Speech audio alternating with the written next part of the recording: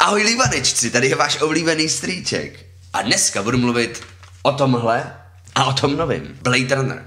Nejdřív začnu tím starým, to je úplný základ, prostě totální cyberpunkový sci-fi kultovní od Ridleyho Scotta z roku 1982.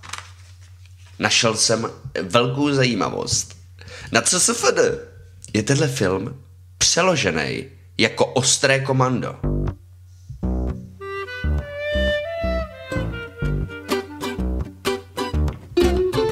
Jestli to někdo nezná, tak jste úplně dělimánci.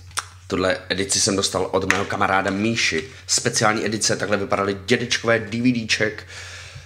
Nádhera, nádhera. Blade Runner, mega kultovní základ. V té době vizuálně úplně v hajzlu. Rok 1982 a i dneska to vypadá naprosto božsky. Temný, nádherný, úžasný soundtrack. Vím, kdo to dělal, nějaký Vangelis nebo někdo takovej. Vangelis, jak pán. K tomu nejde říct dostatečně něco, všechno možný. Tohle je prostě základ sci-fi, který prostě musíte vidět. Zároveň řeknu, že spousta lidí to nemusí pobrat, protože to vůbec není jednohubka. Všechno je zdlouhavý, artový, aby si lidi vychutnali ty záběry. Je to prostě, není to fakt jako jednohubka. Je to těžký film, ale úžasný. A já jsem měl včera možnost, díky Jiřímu z Fantasy Magu, pro Fantasy Mag teďka budu dělat uh, nějaký videa, Uh, budeme nějak spolupracovat, doufám, že budu dostávat třeba nějaký komiksy a dárečky a, a tak. A měl jsem možnost díky Jiřímu se podívat včera na předpremiéru pro speciálně lepší lidi, než jsou všichni ostatní. Předpremiéru... Před, před, před, co? Předpremiér... Před, to se říká blbě strašně to slovo. Třeba mi tohle pomůže.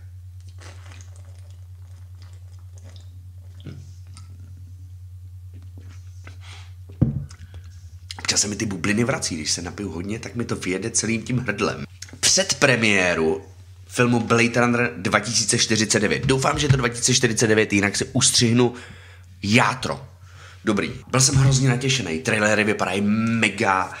Ryan Gosling není úplně moje oblíbená jakoby stvoření, ale v Driveu byl třeba skvělý, tak jsem vyloženě problém s tím nemám. A tady jsem docela osvědčil. Mo- moc jakoby výrazů tam nemá. Ryan Gosling se celý film tváří zhruba takhle. Takže vůbec nevíš, jestli je nervózní, jestli je smutný, anebo jestli se směje. To je znervoznící úsměv takový. Každopádně je tam samozřejmě i Harrison Ford. Výborně děkuji strýčku, že si se vrátil.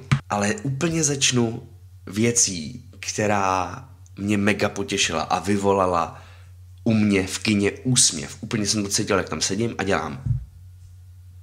Takhle ne, tak počkej. Ty vole, já se nedokážu smát. To samý, když mi někdo řekne při focení. Usměj se a já. He, he, he. Jsem úplně na hovno na tohle. Geniální technologie a design. Všechno je hrozně pěkně udělaný a zároveň uvěřitelně.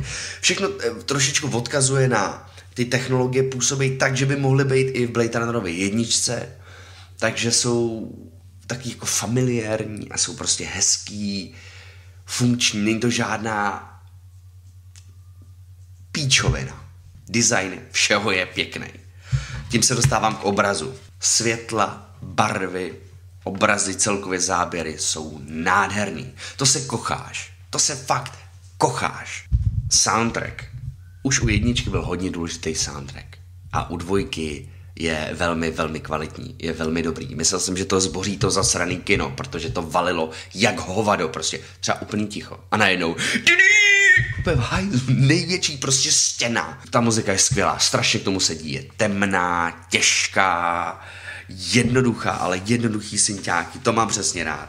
Možná si krknu, to není profesionálně. Bože, už je to pryč. A film Zápletka já to nebudu moc vokecávat, mně to přijde zbytečný. Kdo neviděl a nemá rád Blade Runnera z roku 1982, podle CSFD Ostré komando, nebude mít rád ani tenhle nový film. Ale praví fanoušci to podle mě budou milovat, protože je to prostě krásně to navazuje. Fakt krásně, že člověk je fakt z toho jako šťastný, ty vole, že po tolika letech to takhle pěkně navazuje.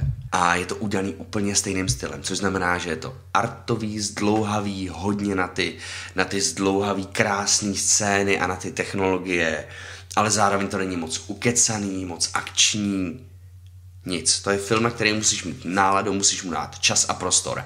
Protože má dvě hodiny, tři čtvrtě, jako. Jestli miluješ tohle, tak tenhle ten film pro tebe bude masterpiece, jako byl pro mě. Ale není to jednohubka. Jestli nemáš rád tohle, to čekáš něco, že prostě tam vezmeš starou a ona ti pak doma udělá prostě špagety, pak budete mít spolu takový ten sex, zvíš, takový ten něžný sex, to já nesnáším. Milovat se tomu říkají lidi. Takový ten zásun jednou za minutu a zbytek hlazení.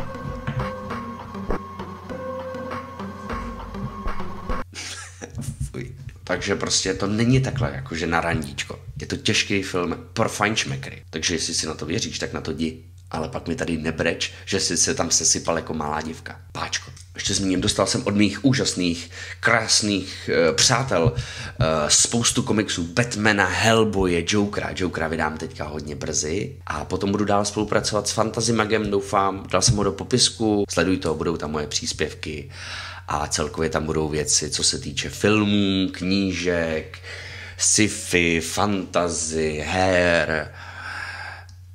Takže tak už tam chybí jenom porno.